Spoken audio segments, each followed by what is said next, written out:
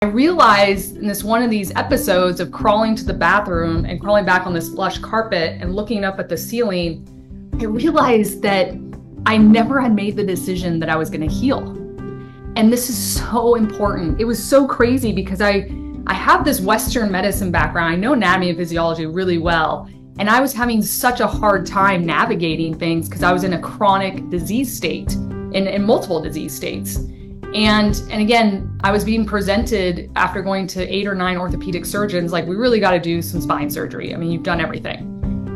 And so I realized I'd been so external in my healing, I'd never gone internally, and again, made that decision I was going to heal. And so when I made that decision, I had a vision I was going to heal without all these surgeries. And my whole life just started, you know, it just basically got clarity and I think that's a lot of what I do when I work with clients is we want clarity on all levels.